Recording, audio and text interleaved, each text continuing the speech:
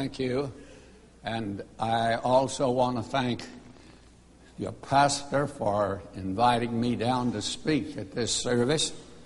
And it's always been a pleasure to come down and speak in San Diego. I've, I suppose I've spoken in San Diego uh, almost as many times as I have in Los Angeles.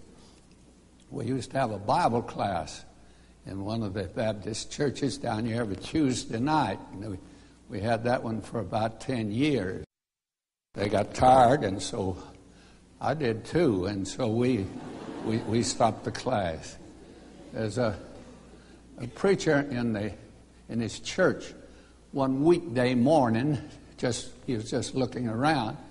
He heard a noise out in the foyer of the church.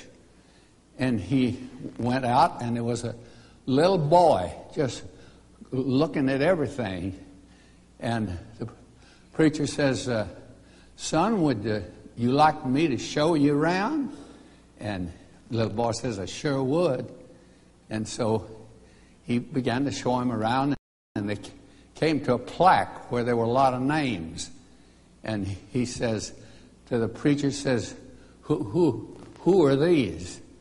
And uh, the pastor said, Those are the ones who died in the service. And the little boy looked puzzled. He says, Was it the morning service or the evening service?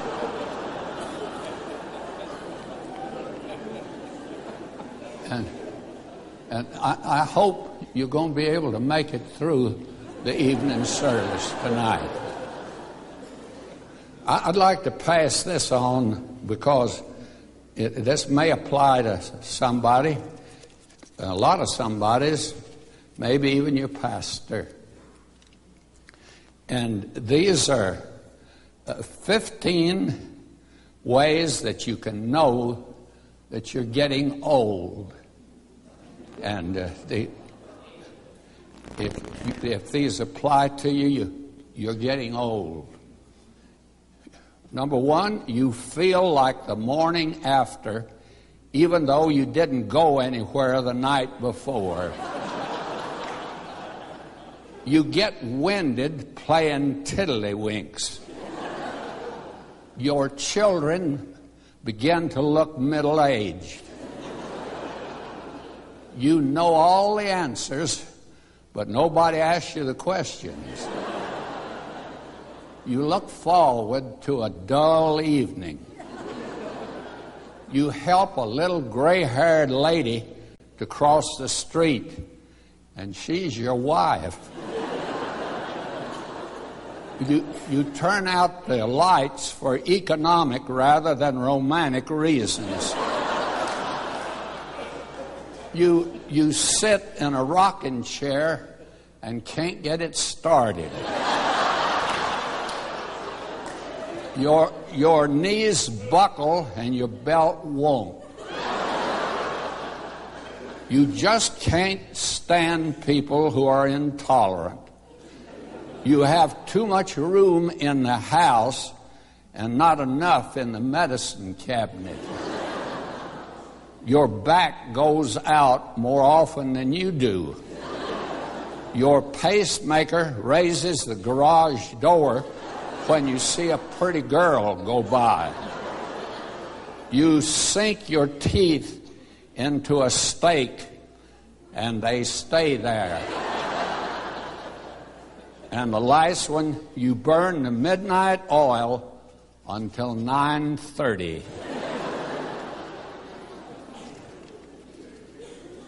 now, this evening, I'm going to do something probably a little bit different, but I want to bring a message that I brought at our Founders Day banquets, and uh, they are putting them in uh, uh, video and tape and all that. But uh, it's a message that we feel that needs to uh, be gotten out today. And the subject is, if I have a subject, is what can believers do in days of apostasy? And the first thing that we have to do is determine whether we're in the apostasy or not. I'm turning tonight to the little book of Jude, and I'd like to read a few verses beginning with verse 17. But, beloved, remember ye the words which were spoken before of the apostles of our Lord Jesus Christ, how that they told you that there should be mockers in the last time who should walk after their own ungodly lusts. These be they who separate themselves, sensual, having not the Spirit. But ye, beloved, building up yourselves in your most holy faith, praying in the Holy Spirit, keep yourselves in the love of God, looking for the mercy of our Lord Jesus Christ unto eternal life. And of some have compassion, making a difference, and others save with fear pulling them out of the fire, hating even the garment spotted by the flesh. I'll start with another story that concerns preachers. This preacher was tooling down the, the highway a little fast, and the officer saw him go by, and he took out after him, pulled him over to the side, and he says, uh, Who do you think you are? Well, he says, I'm God's servant, and I'm out doing God's work. And the policeman looked at him for a minute, too. He says, Did you know that I'm God's servant also? And I use the same Bible that you do. And the Lord told me to go out into the highways and byways and bring them in. And I'm taking you in.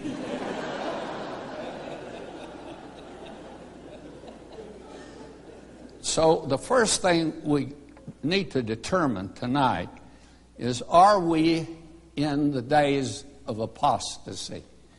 In, in the 50s, I brought a message at the Church of the Open Door saying that we were I, I, that I felt that we were beginning to enter the time of the great apostasy.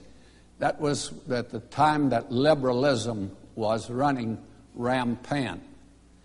And uh, there were a great many that uh, they chastised me. They still do it by letter, and that they say that you ought not to say that. We don't know that. And I have to confess, I don't know it. But I can say tonight that we are not in, in the beginning of the apostasy, we're in the midst of it. And I'd like to give you uh, just one quotation.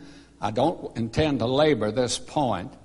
The Chicago Tribune of March the 20th, 1968 speaks of the pro communism influence of the churches through prominent, prominent spokesmen and seminaries and co- concludes by saying the betrayal of Christ in the name of Christianity is one reason for the moral and spiritual malaise with which this country is afflicted. The melancholy fact is that the church is no longer influence the development of national character. People go to church mainly because of an impulse to participate in a service of worship, not because of any spiritual guidance they expect from the clergyman. Now, whether that's entirely true or not, certainly today that we are seeing the greatest breakdown of morality, and the church apparently can do nothing about it today. It, it, it, seems to be a helpless and hopeless situation that the church is in today. And if there ever was a time when we needed a revival, today is the day. And it doesn't look as if a revival is on the way, at least not where I go. And I want to say that uh, this is something that's happened in our day that's different than anything that happened in the past. It was back in the 40s and 50s that liberalism, denying the inerrancy of the Word of God, uh, had its fling. And uh, they lost the battle. If you don't believe it, you go into a liberal church some Sunday morning. I asked one of my deacons to go down to the First Methodist Church. That's been several years ago, of course. I've been retired quite a few years. And to see how many were there. He came back and he told me later there were 18 at the Sunday morning service in an auditorium that seats 2,500. May I say to you how the mighty have fallen. And liber- liberalism is as dead as a dodo bird today. I, I, I have no fear of liberalism at, at all today. Uh, even all these uh, seminars they're having on the inerrancy of the Word of God. Uh, I want to say this to you right, right at the very beginning. Uh, Paul speaks in Colossians that he prayed that they would uh, have an epignosis. That means that they would have a full assurance that this was the Word of God, a full assurance that the Lord Jesus Christ could save them. And today, I've asked in, in several churches in the East, uh, how many here are assured? Assured of your salvation. You know you're saved. And you know the Bible is the Word of God. And I would say that about 50% uh, of the congregations all they put up their hands. I was amazed that it, that it was like that today. Uh, may I say, I think that we ought to have today, and that's the reason I don't go to these seminars on the inerrancy of Scripture. They Uh, they write me, and they, uh, this friend of mine wrote me and says, What's the matter with you? Don't you defend the Bible anymore? I said, No, I'm letting it defend itself. I'm, I'm giving it out, and it, I find out that, the, that when you've got a lion in a cage, you don't need to, to put a guard there to protect it from the pussycats in the neighborhood the lion will take care of himself if you just open the door. And, and the Word of God is like that today. And I want to put it like this I do not believe the Bible is the Word of God. I know the Bible is the Word of God. And I hope that tonight I can offer some evidence of that, that we can know that the Bible is the Word of God. And, and it's the Word of God, as old Dr. Warfield, who was the German scholar, said the only theologian that America ever produced. That, and he put it like this The Bible is the Word of God in such a fashion that whatever the Bible says, God says. I like it like that. It's God's Word. He is speaking in the Word of God. And that's a thing I think is very important for us. But the new thing that's happened today is liberalism is just about dead. But in our conservative groups, uh, heresies are coming in. At least I've labeled them heresies. Some think I ought not to. But many of these men have been friends of mine in the past. L- let me just mention them, and I'm not going to labor this point either, because all I want to be sure of that we're in days of apostasy. That in conservative churches today, a new gospel is being preached, and that's the lordship gospel, uh, the, the lordship uh, salvation that you are not saved until you make Jesus Lord. and I said to a friend of mine that teaches that, and he's in a seminary, and I said to him, uh, What do you do with the thief on the cross? Uh, did, did, he make Jesus Lord? Why, all he did he asked was, Remember me when you come into your kingdom. That's all he did. He just had faith in the Lord Jesus Christ. And I can imagine that old tough Philippian jailer that came in that night and he was ready to kill himself because Rome would have done it for him. And, and Paul says, Don't do yourself any harm. We're all here. And then this man said, What shall I do to be saved? And if anybody needed to make Jesus Lord, it is that old rough Philippian jailer. But he didn't mention that. He said, Believe on the Lord Jesus Christ, and thou shalt be saved. I like to, the way that a man who is teaches in Boston University, and he's in the psychology department, and gosh, and he's Roman Catholic, and you put those two together, you've got something. And, and he, he has, uh, I'm convinced, has had a sound conversion. And, and in Southern California, in the 60s, some of us n- never knew what happened, but many of the Catholic schools closed. In fact, we were offered one. We could buy it. And it was b- because of the fact that the schools had put in FOMS psychology. And it had absolutely had wrecked the schools. And they're busy now building them back. This man wrote the, sedu- psychological seduction. And in it, he put it like this He says, Christianity is not a ceremony. Christianity is not even the church. Christianity is not a system.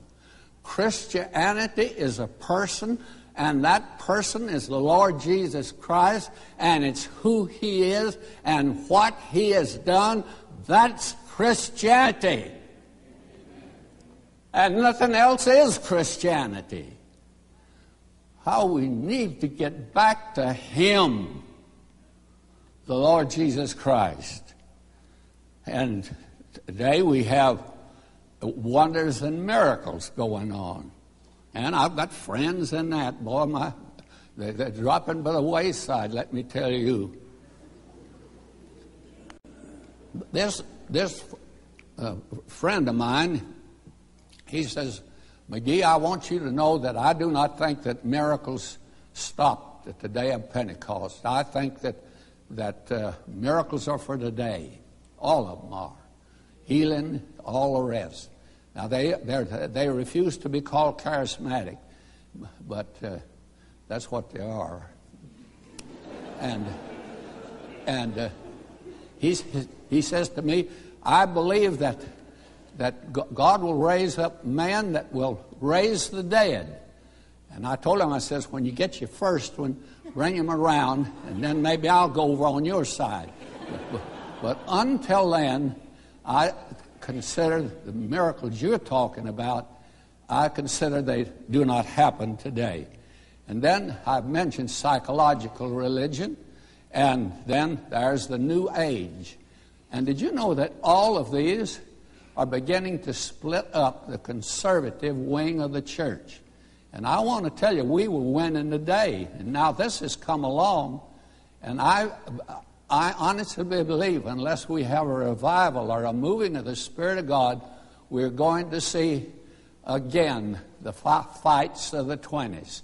Only this time it's going to be among the conservatives, holding some little position, and you can always recognize that they add something to what Jesus did for us on the cross. He, Jesus paid it all. He, does, he doesn't want my two bits. He doesn't want anything I do. And he doesn't want my commitment because he's found out that I lied about that two or three times. and, and, and don't you look at me that way because you've done the same thing. may, may, may I say to you, thank God tonight for a Savior who did it all. And I can know I'm, I'm saved because I trust Him. I trust Him. And that's what He told me to do. Now, what can believers do in days like we're in today, where uh, everything you can think of is being taught on radio and, and TV? Uh, I hope you don't think that through the Bible is. And I want to thank the men's chorus for that number they sang. Uh, the one that we use was made by a group of Baptist men in Los Angeles 35 years ago. I, I may get the, the record of these fellas, and, and if they'd let me, might use it uh, because they, they were good tonight. They, uh, somebody t- told me, he says, you can always tell when the Through the Bible's coming on. I, I said, I'm glad you know that because we've tried to identify it with that song. And if somebody will sing it a little differently and a little better, we, we want it. Now, I, I, I, want to want us to look tonight at, uh, well, I hate to say this, but seven things that God asks believers to do in days of apostasy. And I th- think that they'll deliver all of us if we just if we j- just hang on to these things that He has told us to do. It's it's uh, like the Lord will forgive me. I hope for telling these, but the, the family going out having a picnic, and in the family there's a very large woman. In fact, she was fat.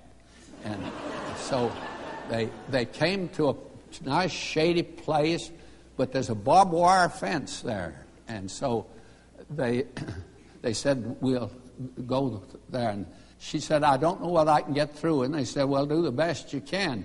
So she got down and tried to roll under. And when the rest of them got through and they waited for her, she hadn't shown up and they yelled back to her, says, Are you going to, are you about through? And she says, I've got two more points to make, and when I make them, I'll be coming down. And so I, have got seven points to make, to make tonight. Now, n- notice these. He says, verse 20, But ye beloved, building up yourselves on your most holy faith. Now, I do not believe that we can have strong Christians today unless they have a knowledge of the Word of God. I think that is so essential today that uh, to, someone said to me, Why have you uh, just taught the Bible? I said, Because I I started that way. I did it in every church I served. And that's all I know to do. It's just to teach the Word of God. And I, I believe today that that is the answer. And you'll find out that the strangest thing is that when you go to the Bible, again and again it refers to itself that you are to study, to show yourself approved unto God, a workman that needeth not to be ashamed, rightly dividing the word of truth. You, you study the word of God. And the, the middle psalm is 119. It's the middle of the Bible. It's the longest chapter in the Bible.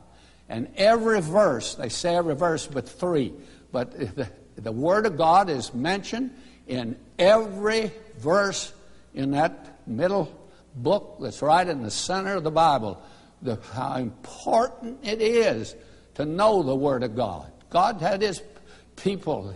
You put it, you put it up on your doorposts.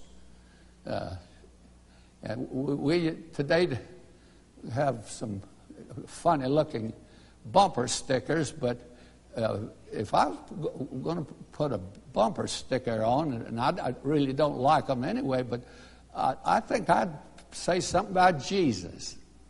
I think we ought to say something about him. And today, uh, he's being neglected in, in many places.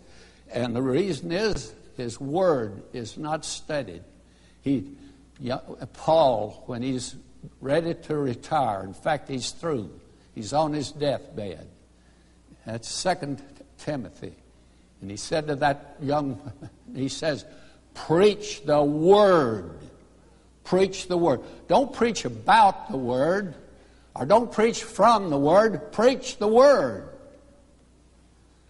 And that's a little different, you see. And, that, and that's all of these uh, different isms today have gone off in that direction. The second thing he mentions is praying in the Holy Spirit.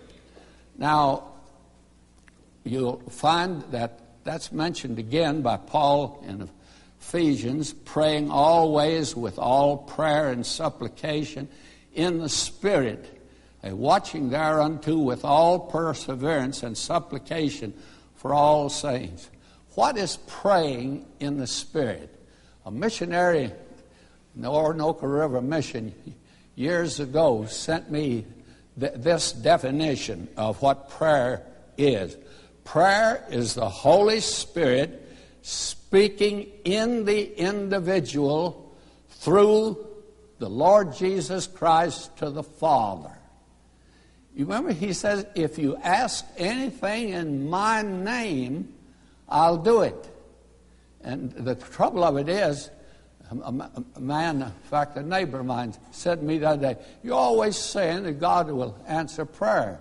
I, I said, He will answer prayer if it's prayer, but if you handed him a grocery list, he didn't say he'd fill that for you. you know, it, but he has promised. That, I, I said it has to be in the w- will of God. And as one old preacher I heard years ago at Winona Lake, he says, I want to be so close to God that when I pray, I say what He wants me to say, and He has me say what He wants to hear.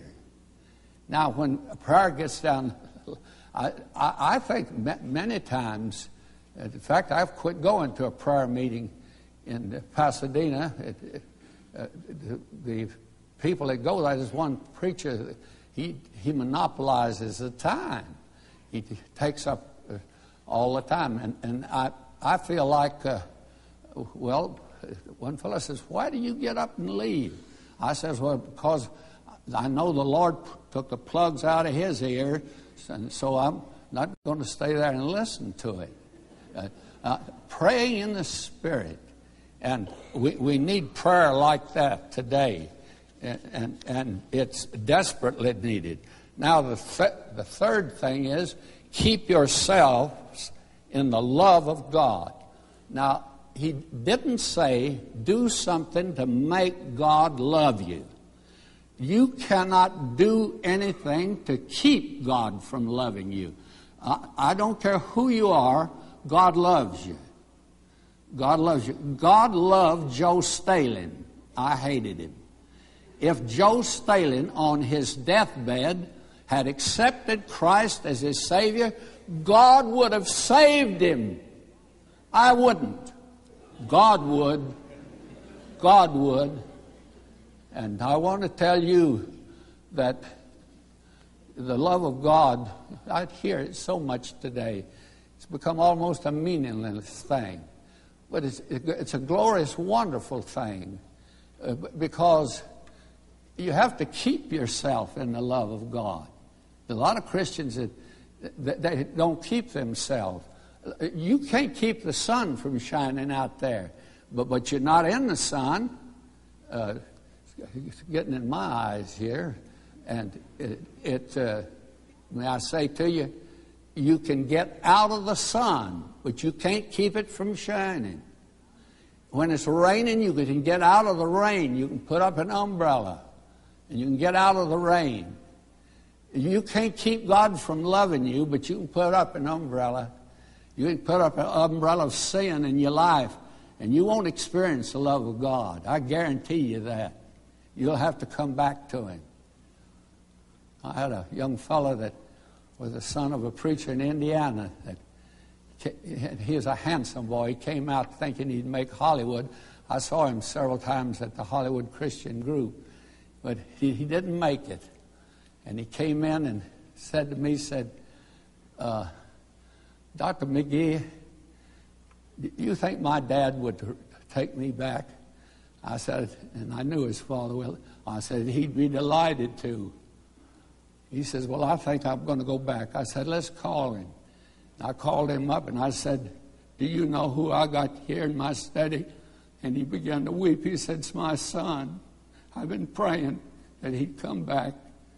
And I put the son on and let both, both father and son cry while I went outside and cried. It, it was wonderful. You, you, he, he didn't experience the love of his father eh, walking the streets in Hollywood, living it up and going to every bar. But when he returned home, he found out what the love of the Father really was. And there are a lot of Christians tonight that they, have stepped out of the, the love of God. That, that God loves them. God loves every person. There's not a person walking the ground today that God doesn't love. Now, the fourth thing it says, looking for the mercy of our Lord Jesus Christ. What is the mercy? I believe it's the rapture of the church. Looking for the mercy. But you see, God says uh, that He's rich in mercy. Paul, when he wrote Ephesians, he bore down on that word mercy. Uh, God is rich in mercy. He has plenty of it. And I've got so I, I, am using a lot of it. I'm, I'm, here tonight because of the mercy of God. I asked him, I, I said, I was down here last year, not for this group, another group to speak, and I was sick in the hotel room and I couldn't go, and I didn't want that to happen again. And so I got down on my knees last night and I said, Lord, don't you let that happen to me again. I want your mercy. I, he's rich in mercy. I use a lot of it. And if you want the mercy of God, He's got plenty for you. He's rich in mercy. But the great, oh, the great thing is one day He'll take us out of this world. And He's, he, he's already taken me out. Uh, since I, I was here, I've lost 50 pounds. I can turn around in this coat and the coat won't even move. so, see, it's right back where it was. And I, t- I turned around. May, may, I say to you, uh, a, de- a dear friend gave me a check this past week for $500. He says, You go buy yourself a new suit. I said, when I quit losing weight, I'll go, but I don't know when this thing's going to stop. I've lost 50 pounds. In other words, a fourth of me is already up there. and, and if he'd come tonight, only three fourths of me would be going. Uh, but, but I, I'd love for him to come tonight and mercy. Oh, how wonderful the mercy of God is when you fail Him, when you fail Him, and others turn their back on you and criticize you. Oh, it's wonderful to be able to go to Him because He has mercy for you.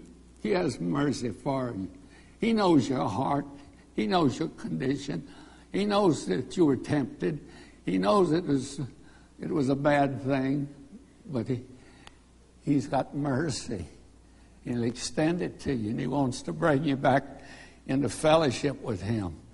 And then the next is of, of some having compassion making a difference. And actually, I'd like to change that. And these people who think I uh, think it's sacrilegious to tamper with the King James Version, uh, may I say I'm going to change it here uh, of some have compassion who are in doubt. Now, there are, uh, there are a great many people today that are in doubt. A great many people that are in our churches today that they're in doubt. Uh, when we had our Thursday night Bible study, one of our members brought in a, a lady, and uh, they were there every Thursday night. And th- this woman had come down and asked me a question every Thursday night. I got tired of that. It looked like she was trying to trip me. And so I was just a little, you know, rough one night. She turned and walked out and went over and sat in the car. And then this lady's a member of the church. She says to me, she said, Dr. McGee, don't talk to her like that. She's in who's who. She's working her way out of Christian science. And she'll come through if you'll just be patient with her. Uh, have, have, compassion, he says, because some are in doubt. She had a lot of doubts, I'll tell you. She had a lot of. So I went out as quickly as I could to the car, and I asked her to forgive me. That I, I, I absolutely was crude to talk to her like I did. I, I said, I'm sorry. And she said, That's all right. I forgive you and I'll come back. And she started coming on Sunday morning. And one Sunday morning, she came forward and accepted Christ as her Savior. Have compassion. If I hadn't gone out to that car, that woman never would have come back because I can be very mean. You, you think I'm sweet up here, but I can be mean. But don't be frightened. I've got to the place now my age is so I can't run and I can't fight, so I'm nice to everybody now.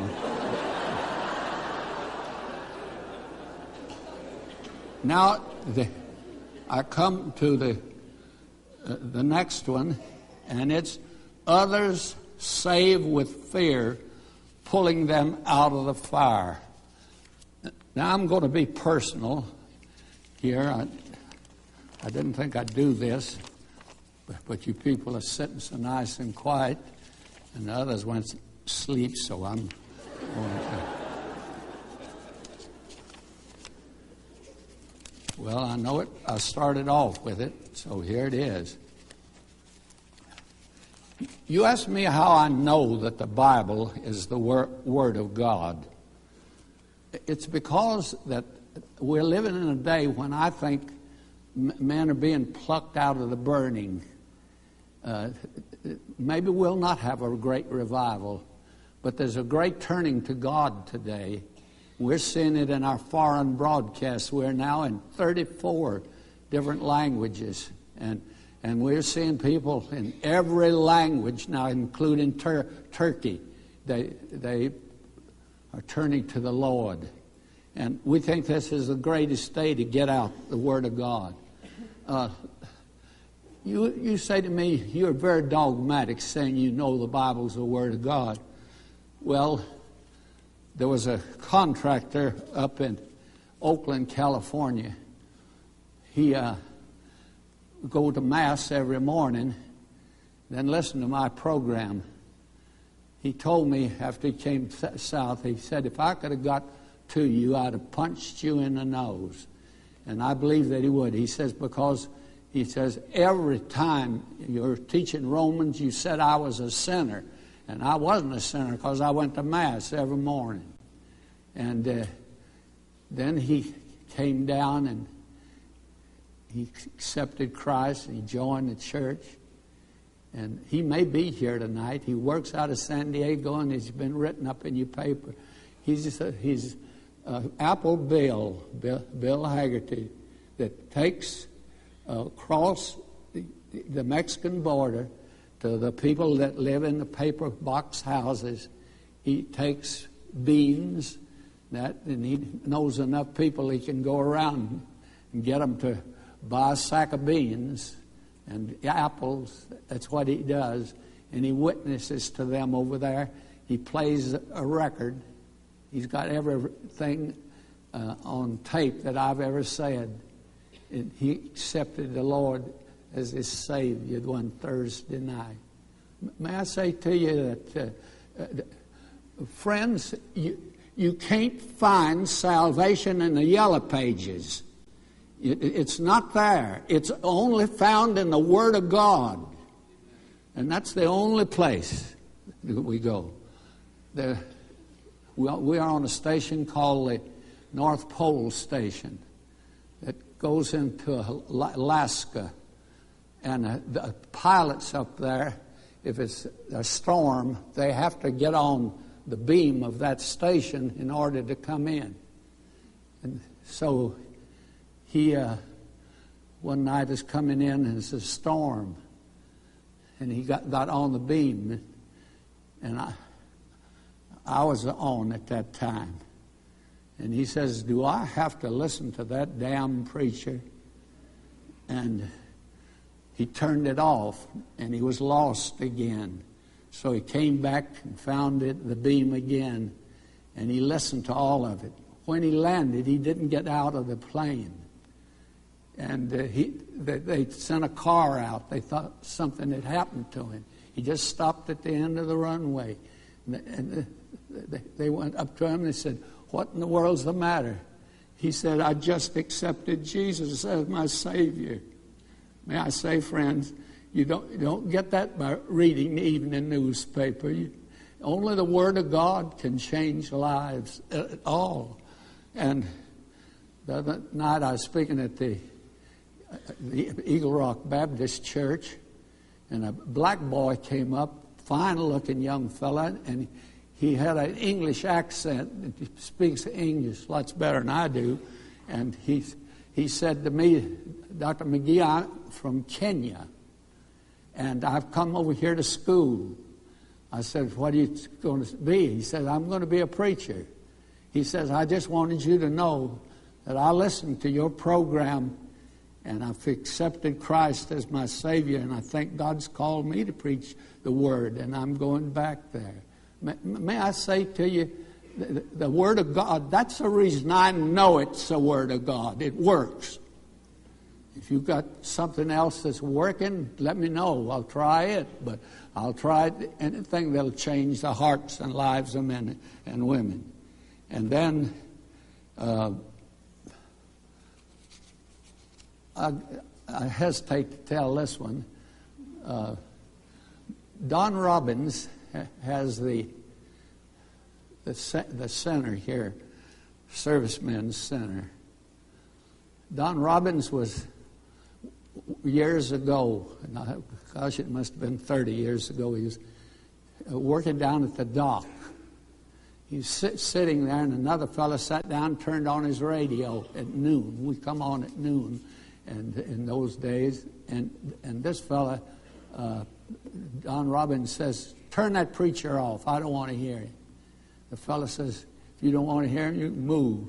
And he didn't want to move, so he stayed there. Next day, he listened.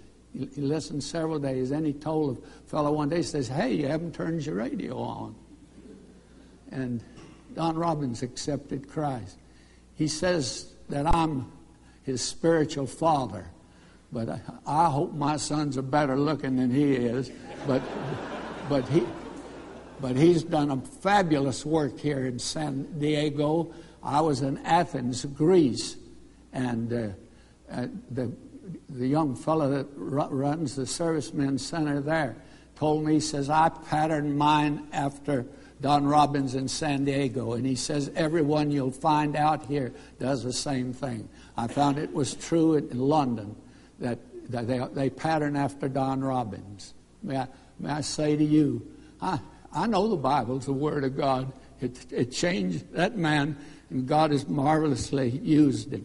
And let me tell this last one, and then I, I'm about through. And if I'm not, I ought to be. I, am long winded, very long winded, always have been. Uh, two members of my church were w- walking out, and one said to the other, says, Our pastor sure do, does preach a long time, doesn't he? And the other says, no, he says, he really doesn't. It just seems long. so maybe that's the problem. This one, uh, there was a lady that, and she's a lady now, she wasn't then, when she came, to, started coming to the services. Uh, and uh, she, one morning, accepted, Sunday morning, accepted Christ. Said she'd been listening to the radio a long time. Said, I buried my husband the other day. He says, We own the largest bar in South Los Angeles.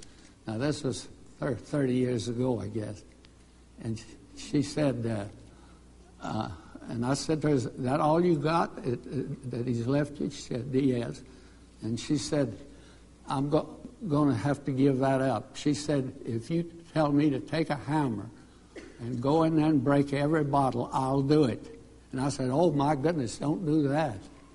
I said, If I thought you, if you broke every bottle, it would stop drinking in Los Angeles, I'd urge you to use a hammer. But I, it wouldn't affect drinking in Los Angeles one whit if you did that. And I said, you sell it and get. That's all he left her, she got hundred and fifty thousand dollars, and she has a job. She joined the church, and she never would participate in anything. She said, these women, if they knew my background, they wouldn't want me in that group. And I said, But you're different now. And some of them were sinners too. But she never did. Long as I was there, she never would participate. And, but she said, I'll be here every Sunday. You can count on me. She was there every Sunday. May I say to you, that's what the Word of God does. And, and that's the reason that we, that, that, that's all I've got is stock and trade. And then uh, uh, let me take this one, the last. I've had others say with fear. We're plucking them out of the fire today. And hating even the garment spotted by the flesh. Now, I wish I could explain that to you. If, uh, if Dr. Gaebelein had known what it meant, then I'd know what it means. And I've looked at at least 20 uh, commentators. Uh, I asked Dr. Barnhouse what it meant, and he talked to me privately for about 15 minutes and found out he didn't know either. I haven't found anybody that knows what it means. Uh, and you can be sure one thing, I don't know what it means. Hating even the garment spotted by the flesh. This is the closest that I can get to it. God does not want the works of Vernon McGee done in the flesh. Anything that I do in the flesh, God hates it. He doesn't want it. He wants that which is done through the Holy Spirit. That's all that he wants. I uh, was speaking back east. Uh, they asked me to go to speak a group. And they, they, they were li- liberal fellows and uh, all other kinds unsaved. And so I thought I want to get their attention. So I started telling them jokes. And, and I, I got quite a few of them, and I like telling. them. And so I got to entertaining them, and I didn't have but 10 minutes to talk to them. I wasted the time, and nothing happened there either. When we got in the car, my wife said to me, she says, Who do you think you are, Bob Hope? and, and then I knew what I'd done had been done in the flesh. God doesn't want it unless it's done in the Spirit. And we ought to hate that little spot, you know, that little spot. And uh, oh, that it, it, it gets in the, it gets in the way of so many of us. I do fine. I get to a certain place, then I just slip in a little something. It's of the flesh. You notice I, a while ago I told you we were on 34 state, foreign stations and 34 languages. That's bragging. May I say to you, uh, that's of the flesh. I should have kept my mouth shut. May I say to you, there's so much being done today in the name of Christ that's not of Christ. Only that which the Holy Spirit does. You see, I believe in commitment, but I, but I know that when I was saved, I was 17 years old, and I didn't know anything. And that next summer, I went to a young people's conference, and I found out that, that Jesus wanted me, and He could use me. And, and I, down there at that conference, I never shall forget the wonderful preacher that told me, I went to him privately about committing my life. And I, I told him, I said, it kind of worries me. I think he wants me to preach. He says, if he wants you to preach, he'll open the door for you. May I say to you, friends, I, I, I, I want, I want to say to you that, oh, how the, how the flesh can get in and, keep us from doing the thing that the Spirit of God wants us to do. Uh, I, I, I tonight thank God. And I told my wife the other night when we got in bed, I said, you know, one of these nights I may leave you, may be gone the next morning when you wake up. I won't, I won't wake up. I said, just know one thing that Vernon McGee did what he thought God wanted him to do, and he was going to do it right to the very end. Well, One preacher said to me, he says, You ought to retire. I said, I'm going to let God retire me. And I've had indications from him that he may be getting ready to do that too. That, but God will have to do that.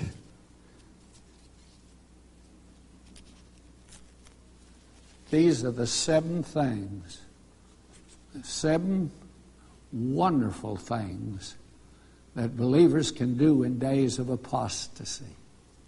And it's, it's a joy to know that God has outlined for us, put it down one, two, three, seven things. He says, You do these things. And the apostate says, Not going to bother you. It's not going to worry you at all. May I say to you tonight, Are you in that place that God has called you to? Are you doing what God wants you to do? And I wonder, in closing, if I can ask this question How many of you have, have really never accepted the Lord Jesus Christ in your heart? There's never been a transaction there. You, you've, never to, you've never told him that you trust him. You, have never told him that you love him. Allen Fleece, who was president of uh, back uh, of Columbia Bible College, uh, he and I were in school together. First night of school, we walked up on a hill, a red clay hill in Georgia, and the moon was coming up. And I said, "Oh my, he he made that. he made that. How wonderful it was. And Allen said to me something that I'll never forget. He says, Every night, well, before I go to sleep, I get in bed and pull the cover up and I say, Lord Jesus, I, I love you. I love you. I thought that was a pretty good idea. And I've been doing that all these years nice thing to do. I, I fail him maybe during the day, but I say, Lord Jesus, I love you. Well, how wonderful it is. How many of you here tonight would like to lift your hand? That's all I'm going to do. Just as you lift your hand, I'd like to remember you in this closing prayer and say, I want to trust the Lord Jesus Christ with all my heart. I want to trust Him. Just slip your hand up. I'd like to see it. And I'd like to remember you in prayer if you're here tonight. I recognize this is a Christian group, but the, there's some in here that have never yet trusted Him. And I'm talking to you. Oh, accept Him. What a Savior He is. What a marvelous, wonderful Savior. Heavenly Father, we thank you tonight that you are who you are. We thank you for sending the Lord Jesus into this world and that he provided a salvation that is complete and secure. And we pray tonight that we may rest in him, for we pray in his name. Amen.